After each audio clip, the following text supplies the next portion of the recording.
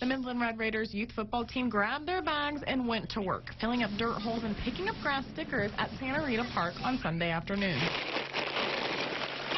Came out here as a community effort. Right now we want to provide a safe and enjoyable place for our kids to play football. You know, so uh, we pretty much came out here, filled some holes up and rolling the stickers and everything like that so we can make this a good field, you know, for them to practice all. Safety was on the minds for many of the players' parents. A lot of parents have that concern as far as uh, safety and things like that, whether it be parking or, or different stipulations that come about.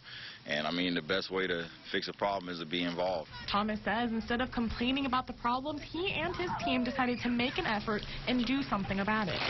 We're um, filling up potholes, raking up a bunch of lace around the ta- uh, the the tree- trees, and then we picked up trash and we had a fun time.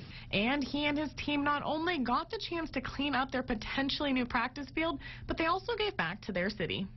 Uh, while we're out here picking it up, we also get, you know, credit for serving the community as well.